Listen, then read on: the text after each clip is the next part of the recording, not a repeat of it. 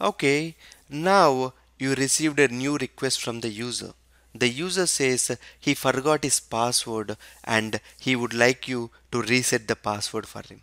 This is the most commonly asked request for a DBA okay so you need to know this. How do you reset a password? It is very easy. Alter user and the request came from the user John. So John identified by and let's give some password okay? John 567 and we will set it to password as expire okay? The user is altered.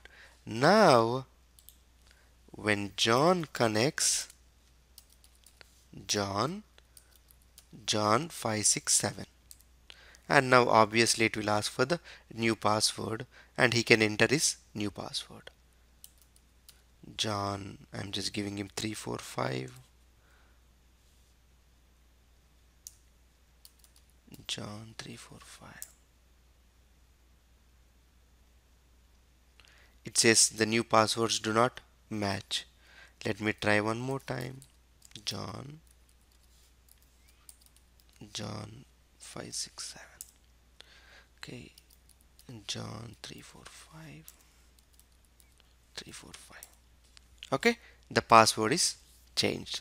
Like this whenever the user asks you to reset the password you can use it using alter user username identified by the new password and then set the password to expire. So that the user whoever is logging in can reset his password as soon as he logs in next time. Okay so you received one more request from the system administrator saying log the user John for some time. Okay? Log his user. There is some activity going on from John user which is kind of a fishy. So let's log him.